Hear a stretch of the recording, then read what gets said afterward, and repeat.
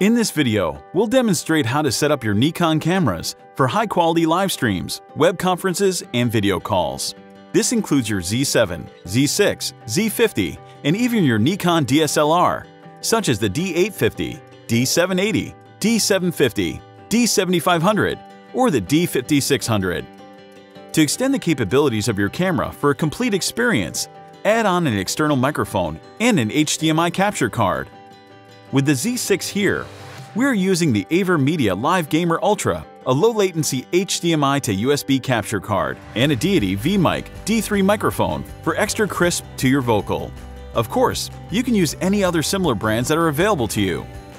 First, mount the mic on the camera's hot shoe. If the mic has a windscreen, put it on to filter wind noises, especially in a windy situation. Locate the camera ports, typically found on the right side from the front of the lens. Connect the mic's audio cable to the mic port. Next, connect the HDMI cable to the HDMI port. The Z6 example here uses a Type-C mini HDMI connector.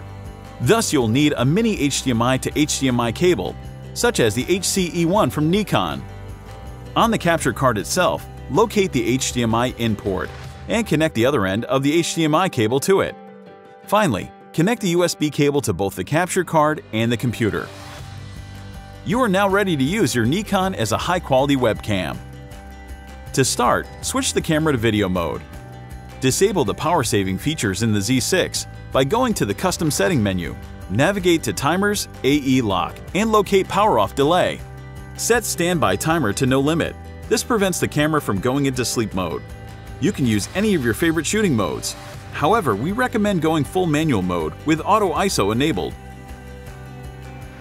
You can access useful settings from the on-screen I menu. For best results, change focus mode to full-time AF and AF area mode to auto area AF. If you're using the camera on a tripod, disable VR to reduce power consumption for longer shooting duration. A Z6 with a good condition EN-EL15B battery will last about 70 to 80 minutes in typical usage. You can also use an AC adapter for longer sessions. If you're live streaming, you can use almost all the popular applications including the readily available Streamlabs OBS. To do this, add the capture card as a video source and follow with the same for audio source. You will then decide where you intend to stream to, be it Facebook Live, YouTube, or any other platforms.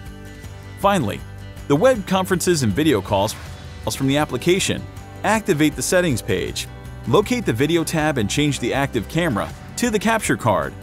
Do enable HD if it's available as an option. You'll be able to see the live preview from the camera if everything is set up correctly.